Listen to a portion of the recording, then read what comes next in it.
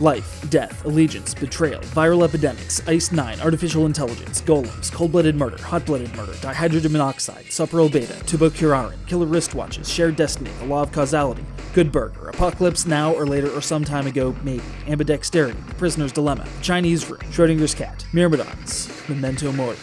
Nine persons, plus a corpse, running helter skelter to open a door marked with the number 9.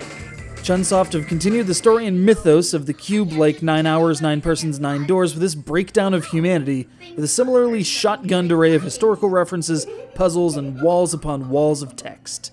And an evil rabbit lording over it all. Too scared to come out and face me like a man? Are you an idiot?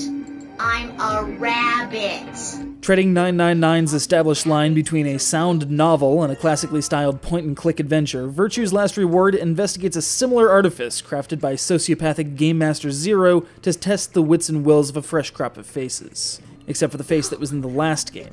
And this dude who may or may not have a face. The Mod 9 math shenanigans of the predecessor have largely been put aside, though, in favor of color based puzzles with progress determined by a prisoner's dilemma after each of these investigations. Get 9 points by teamwork or skullduggery, and you can open that huge 9 door in the central warehouse, thus escaping the game, but sealing the fate of anyone left inside. The question is is their survival your problem? And if it is, will they use your altruism against you to save themselves? I told him you might choose betray. I can't believe you.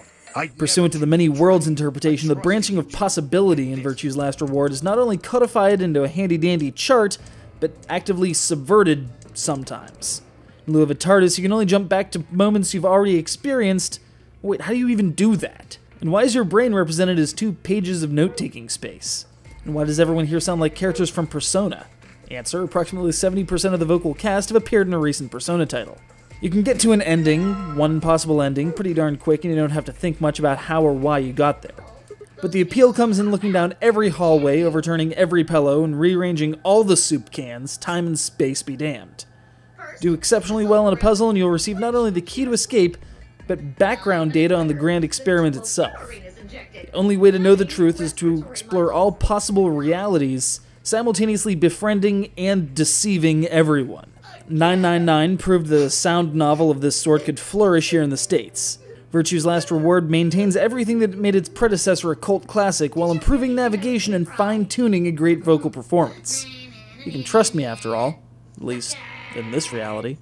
As if I'd cry over you dummies.